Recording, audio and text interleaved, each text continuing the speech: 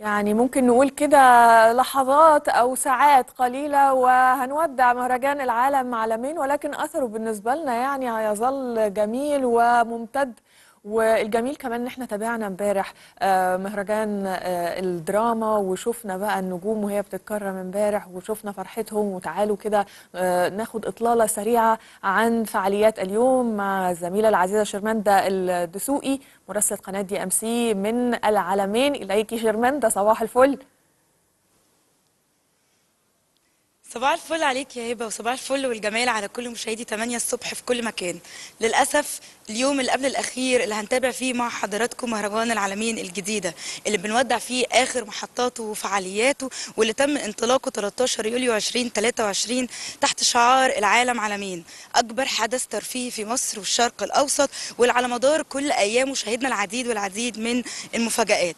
زي امبارح استقبلت مدينة العالمين أهم مهرجان فني وهو مهرجان القاهرة للدراما في نسخته الثانية وهو كانت نسخة استثنائية مش بس علشان خاطر استقبلته مدينة العالمين وإنه كان موجود على المدينة الساحرة في وسط جوها الرائع وطبيعتها الاكثر من ساحرة. ولكن لأنها كانت نسخة فعلا استثنائية شهدناها كلنا امبارح في وسط تنظيم أكتر من هايل بداية من حفل الافتتاح وحتى ختامها بدخول الفنانين وتكريمهم. في الحقيقة يا هبة الحفلة فعلا كانت أكتر من رائعة. مش بس علشان خاطر الصورة الأكتر من رائعة والمبهره في التنظيم بداية من الحفل زي ما ذكرت ولكن علشان خاطر الحفلة كلها من أولها لآخرها فعلا كان فيها العديد والعديد من من المفاجآت يعني خليني أنقل لك الصورة كأنك يا هبة كنت حاضرة معانا الحفل امبارح حفل مهرجان الدراما في نسخته الثانية في الحقيقة الحفلة بدأت ب show ال fireworks من الفنان أحمد عصام. اللي الحقيقة كنا حاسين إنه كل آه، الناس شايفة ال fireworks مش بس اللي موجودين جوه مدينة العلمين ولكن إحنا كنا حاسين ان الصوت والإضاءة وصل لحد القاهرة وإسكندرية كمان وإن الناس حاضراها معانا. بدأت الحفلة بكلمة مؤثرة جدا من الفنان يحيى الفخراني وهو رئيس المهرجان في نسخته الثانية وبعد كده بدأت الكلمة للنجم الكبير كريم عبد العزيز اللي حيا فيها جمهور مدينة العلمين وجمهور الفن والدراما اللي كانوا حاضرين الحفل امبارح. بعد كده كان في كلمة للأستاذ عمرو الفقي الرئيس التنفيذي والعضو المنتدب للشركة المتحدة واللي الحقيقة الكلمة بتاعته كان فيه أكتر من مفاجأة. المفاجأة الأولى هي تكريم خاص للشيخ صالح كامل لإسهاماته العديدة في الدراما اللي لسه بنلمسها لحد دلوقتي.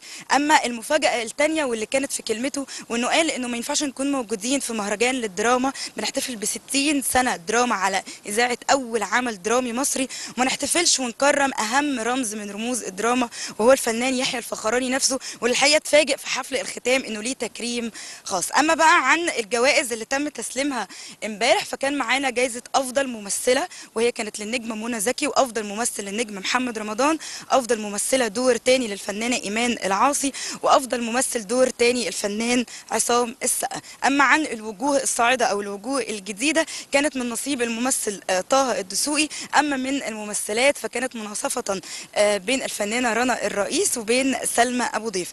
أما أفضل مسلسل آه، حصل عليه جائزة امبارح كان مسلسل تحت الوصاية لمنى زكي. وأفضل سيناريو وقصة وحوار كان من نصيب محمد سامي ومسلسل جعفر العمدة. في الحقيقة يا هبة يعني كمان المهرجان كان فيه أكتر من مفاجأة إنه أحيا آه، الحفل بأغنية بعنوان حب للدراما للفنان مدحت صالح. والحقيقة إن كل الناس اتفاعلت معاه مش بس آه، الفنانين والفنانات لكن محبين وعشاق الدراما. في الحقيقة كانت أغنية وعرض غنائي أكتر من رائع. في ختام آه، الحفل في الحقيقة كان في لمسة إنسانية ولفتة إنسانية من مهرجان الدراما اللي كان حريص إنه يوجه آه، جايزتين خاصتين. أول جايزة هي جائزة التميز الخاصة من مهرجان القاهرة للدراما واللي كانت من نصيب الزعيم عادل إمام. اللي ما كانش ينفع مهرجان زي مهرجان الدراما ما يذكرش اسم الزعيم عادل إمام اللي شارك في عديد والعديد من الدراما اللي لحد دلوقتي الوطن العربي كله بيستمتع بيه مش بس الجمهور المصري. أما الجائزه الثانية فكانت من نصيب الراحل الفنان مصطفى درويش عن أفضل ممثل وفي الحقيقة كل الفنانين كانوا سعداء جدا بتكريمه وانه افتكرناه آه، امبارح. الحفلة انتهت واختمت بالفنان تامر حسني اللي حصل على جائزه في الختام واللي برضو أحيا الحفله بالعديد والعديد من الأغاني اللي صراحة كان جوها حلو جدا في سماء وجو مدينة العالمين للأسف دي آخر محطة من محطات مهرجان العالمين مفيش فعاليات يعني النهارده يا شرمنده؟ لا، ولا رياضية ولا لا، فنية؟ طبعاً. النهارده طبعا في فعاليات يعني من مصر لأمريكا. معانا الفنان الراب الأمريكي راس واللي هيحيي حفلة كبيرة جدا. كل المواجهين كل الجمهور هيكونوا موجودين جوه آه، مدينة العالمين وهيبقوا مبسوطين جدا بالفعاليات. أما بكرة ختاما 26 أغسطس فهتحييها حفلة كايروكي اللي كل الشباب والفئات العمرية هيكونوا حاضرين الحفلة بيودعوا فيها المهرجان.